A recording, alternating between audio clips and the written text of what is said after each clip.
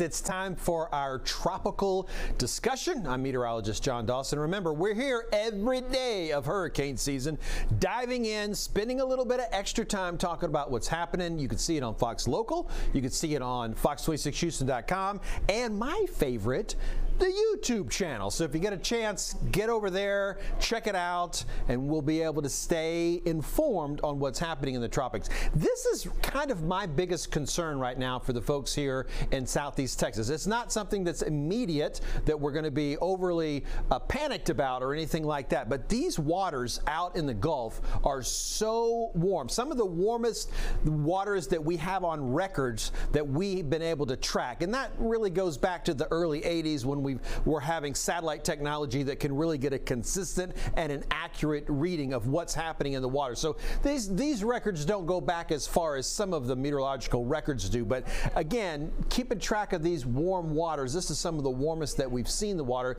If something were to develop in the Gulf, if something were to come into the Gulf from somewhere else, that is a, a, a perfect situation to really have rapid intensification and to grow into a strong system of some kind. Now, I say all that not to try to get anyone scared or worried, but I'm just letting you know what I am keeping in the back of my mind as I continue to watch the Gulf because it is so warm. The great news, though, is that things have been very quiet in the Gulf. Nothing is trying to form. Nothing is really even trying to form in the Caribbean. But out in the Atlantic, we have seen that consistent wave of storms rolling off of the African coast and then getting out here and trying to stay a little bit better organized, becoming a tropical wave, and then eventually developing into a tropical cyclone of some kind. And that's the pattern that we're in the middle of right now. This area, a broad area of low pressure that's been identified by the National Hurricane Center,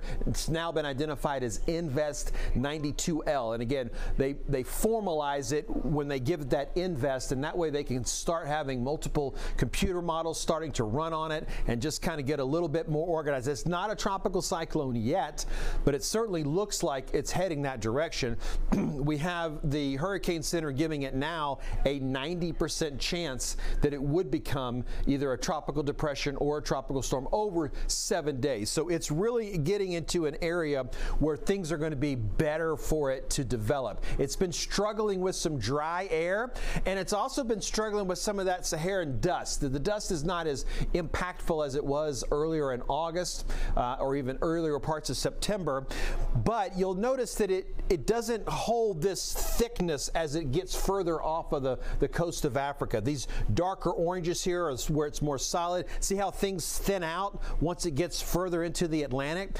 Well, right in this area here where it's even the thinnest is where that Invest 92L is. And so that's kind of what we're keeping a track on. And even behind that, we're continuing to see more storms roll off of the coast. We'll probably have some more tropical waves that are going to need some attention a little bit later on. We're running the Euro model today. Here's that broad area of low pressure. I'm just going to keep the L on there. I'm not going to try to change it to a, a depression uh, symbol or a tropical storm symbol because we just don't know when that's going to happen. But it will be a low pressure system continuing to move through the Atlantic. Notice how far down in the week we're getting now. We're already down to Friday, and it does certainly look better organized, but it's still in the Atlantic Atlantic, not making its way toward the Caribbean. It wants to sort of skirt to the north, and this is good in the fact that it's not having direct impact on some of our eastern coast or eastern portions of the Caribbean islands. It definitely going to be, again, something that if you're in the Dominican Republic or if you're in the Bahamas, this is going to be watched very closely, and certainly